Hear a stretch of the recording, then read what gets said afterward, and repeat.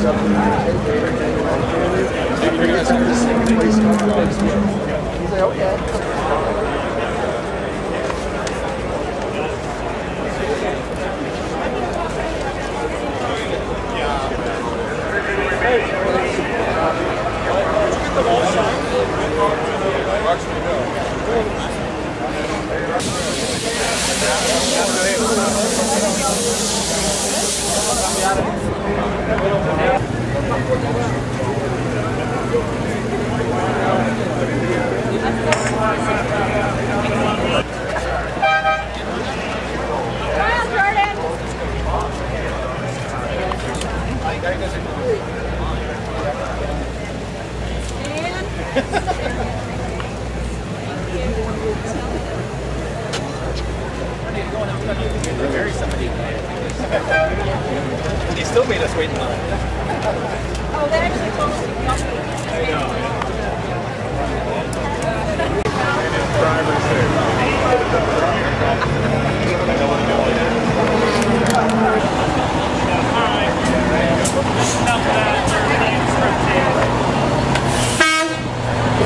Shit more stuff and they get it. Oh man, they're having a blast.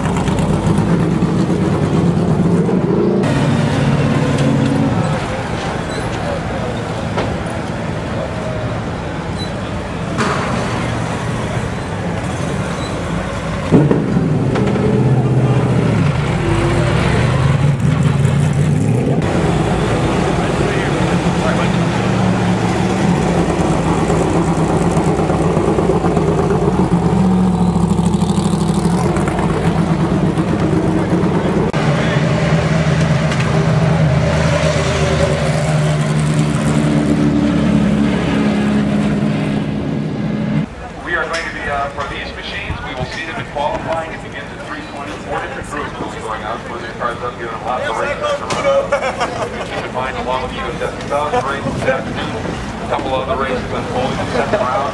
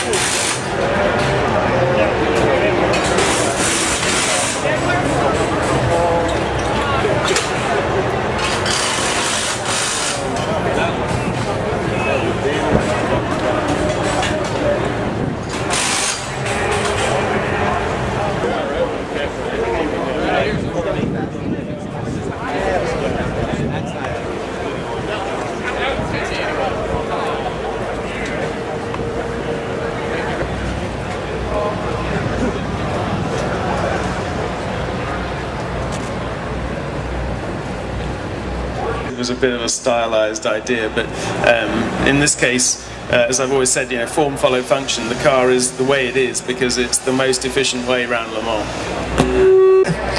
Who here drove to the circuit has the front tyres on their on their on their road car is probably wider than that. Probably most of you. Well, let's talk to Carl Koenigstein from Michelin. Carl,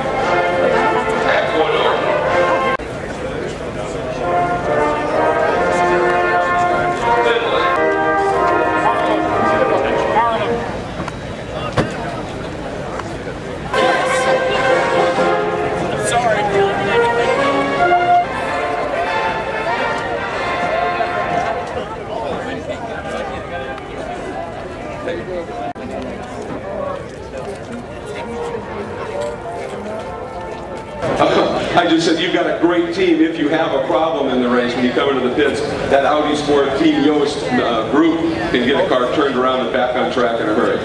Yeah, that's uh, for sure the, the best, the best team I ever have driven for, and it's. I hope we don't need their experience to do it in the pit. So I hope we can stay out without have any problems, and we don't need the experience of uh, our team years in the pit, but for sure for the strategy and everything, we need all the help. All right, we look forward to a great race from you. Congratulations. You. All right, I turn now to uh, Benoit Tréluyer. And Benoit, uh, tell you what, the, the lap in just a few minutes here in that juggernaut, uh, we are looking forward